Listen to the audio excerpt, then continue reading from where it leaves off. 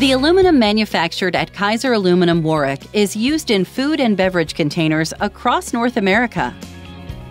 Preparing the rolled aluminum for this purpose is the job of the fabrication department.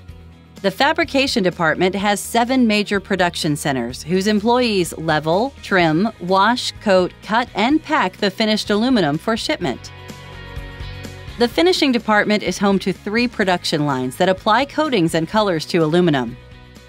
Each of the two roll coats line is as long as a football field and holds about a half mile of metal between the start of the line and the end of the line. Our E-Coat line uses a patented electrophoretic process where the coating material is applied to the aluminum sheet with a charge. This process is the only one of its kind.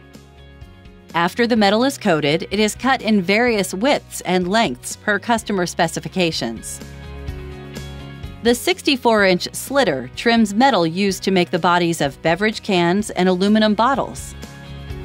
The super slitter is capable of slitting coils into various widths for products such as tabs, food cans, and lids. The super slitter can produce coils as narrow as 3 quarters of an inch and as wide as 63 inches.